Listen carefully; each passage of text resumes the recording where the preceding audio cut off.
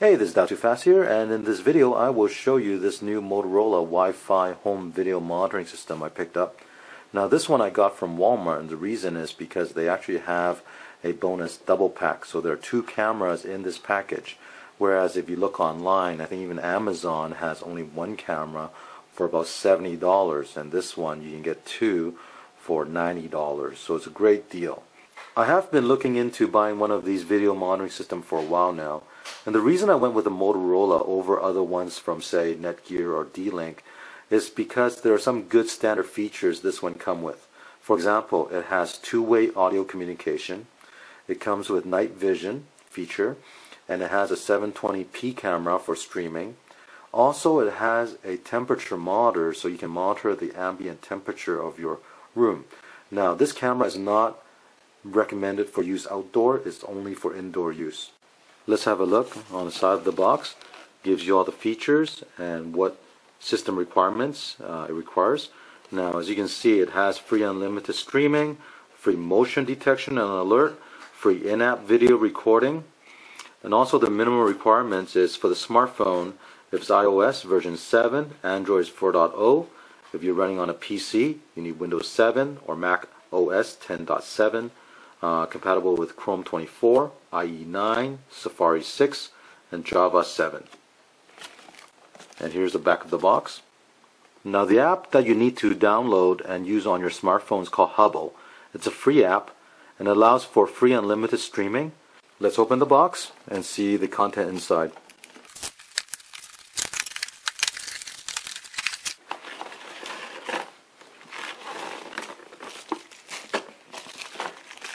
So here are the power supplies for the two cameras.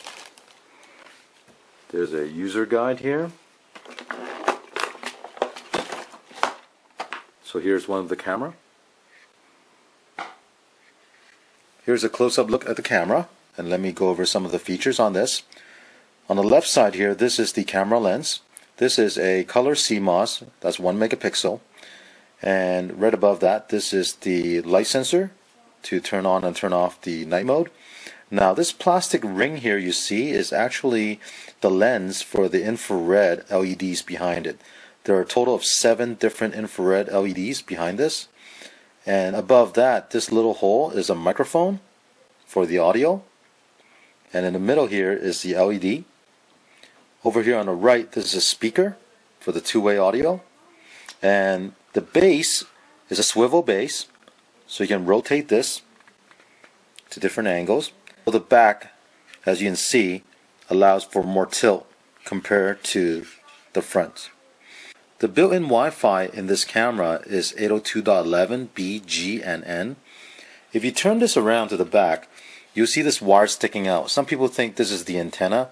Actually, this is the temperature probe to measure the ambient temperature. This is not the antenna. On the left side here, you'll see a pair button here. You need to press this for three seconds to initiate the initial setup. But once you finish setting this up, you don't need to use this button. Above that, there's an on-off switch, and while the power is plugged into the back, you can actually turn this camera off. On the back bottom side of this camera, this is a micro USB plug. That is for your power plug. And here is a plug for the power. On the power cord, there's a warning tag. Basically, it tells you that if you're going to use this near any children, especially in a crib, got to watch out because this cord can be dangerous. You don't want to have this cord wrap around a little baby inside a crib. Here's a look at the bottom side of the camera. You can see there are two holes you can use to mount this permanently on a wall. Now keep in mind there are no screws that come with this. So if you want to permanently install this somewhere on a wall, you will have to supply your own screws.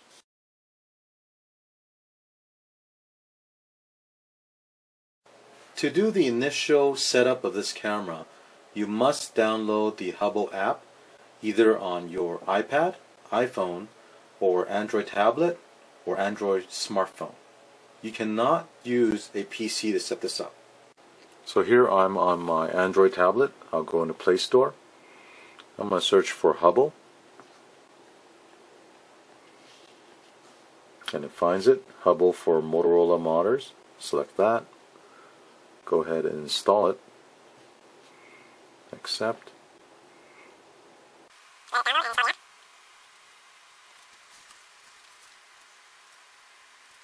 Go back to the home screen and then you see the Hubble app is installed right here. Go ahead and open that up. So here, if you're using this app for the first time, it's going to ask you to enter your username, email, and password, and then confirm your password to set up a new account. So after you enter all your information, go ahead and click on Create. At the bottom left-hand corner, you see Add Camera. We'll click on that. This screen tells you to plug the power into the camera, wait a couple of minutes, and when the camera LED starts flashing, you press the continue at the bottom of the screen right here. To power up the camera, plug this power plug into the back. After about 30 seconds, the camera will beep twice and the LED at the top will start flashing red.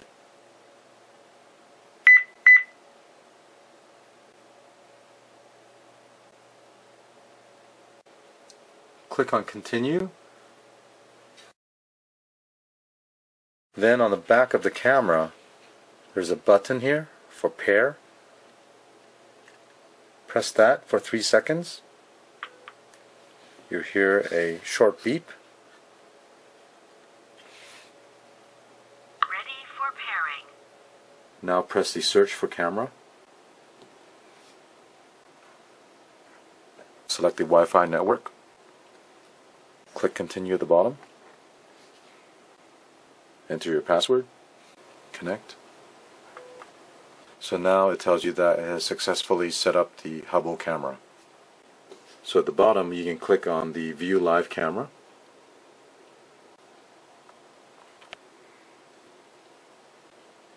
So right now you see the image of the camera and the audio you're hearing is actually through the camera.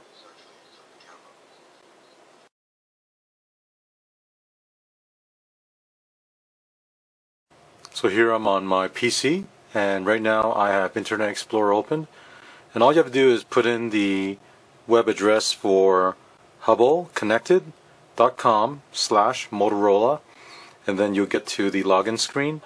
After you log in then you'll be able to choose your camera that you've set up. Now on this system I have four cameras connected and if you click on this icon right here you'll be able to select different cameras so I have one for downstairs, one in the garage that you're looking at right now, one in the upstairs hallway, and then one uh, facing the front of the house.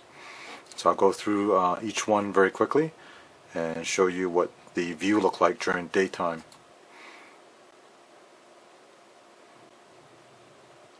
So here's the uh, downstairs camera. And going back to the garage camera.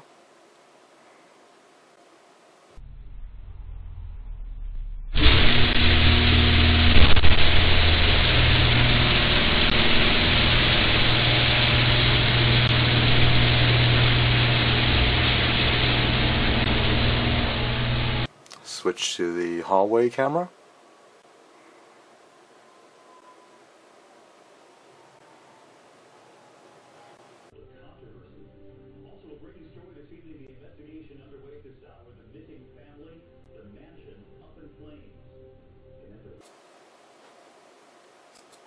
And here's a camera that's facing outside to the front of the house. Now, let me show you the settings you can do if you're using your browser. Over here you can enable and disable the notification for any movements it detects. Also if it detects any uh, sound you can also enable notification for this. As you can see I've disabled that right now. Uh, there is notification for uh, low temperature, notification for high temperature, and then also you can change for the uh, temperature to be Celsius or Fahrenheit you can adjust the volume of the sound it picks up. Here's a volume bar here. Now if you did enable any of the notification you'll see this timeline icon show up. That's one right here. Go ahead and click on that and then you can actually play any of these clips that are recorded on the Hubble server. and right here below each clip you'll see the timestamp of the date and time so let me play one for you so you can see this.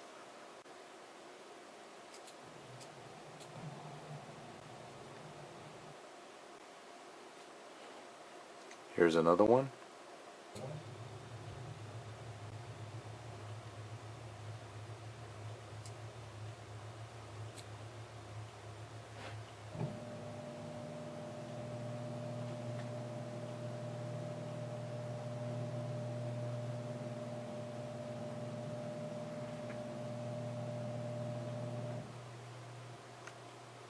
There's also a download button on the left bottom corner. So if you click on that, you can download this video clip.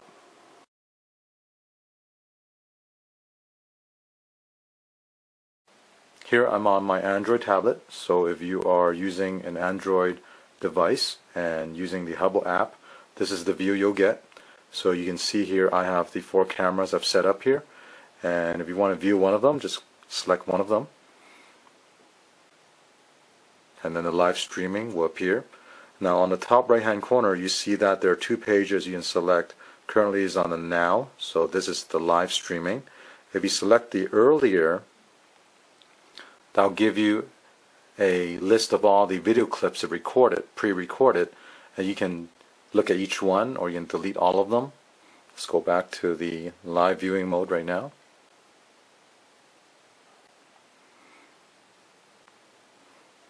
And we'll go back to the main page.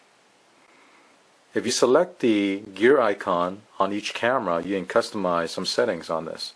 So here there are two choices, camera details and notification sensitivity. We'll select the camera details and at the top here you can change the camera name to a name that you want to use to identify that camera. Over here is flip image. So if you are installing this camera upside down, you can enable the flip image so that the image is right side up. Open up the notification sensitivity. Here you can set the sensitivity for motion detection and you turn on and off. Below that is the notification for sound. You can set the sensitivity and also turn that on and off. Below that is going to be the temperature notification. So you can set the low temperature and the high temperature. On the top right hand corner there's a settings page you can select and here you can actually enter a time for the do not disturb so you enter a number of minutes you want the notification to stop notifying you. So here's my Samsung Galaxy S5 mobile phone and I'll show you how the notification work on a cell phone. So on the upper left hand corner you see the Hubble icon show up And over here you see the hallway cam motion detected. You can click on that. And then you can play the events.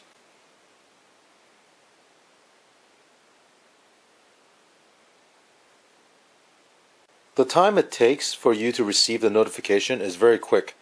I would say from the time the motion was detected till the time that you received the notification, it was maybe about 8 seconds. Now, one thing you need to keep in mind is that the notification only works if your Hubble app is running in the background. If you completely exit out of the app, then you will not be receiving any notification on your phone. So as you can see, the camera is very easy to set up. The app is very intuitive, it's very easy to use.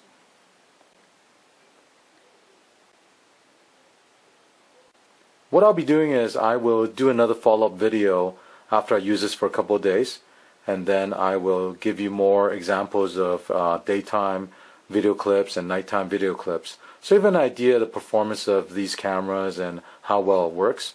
Anyways, I hope you enjoyed watching this video. If you have any questions, leave a comment below. And if you like the video, please subscribe. Thank you.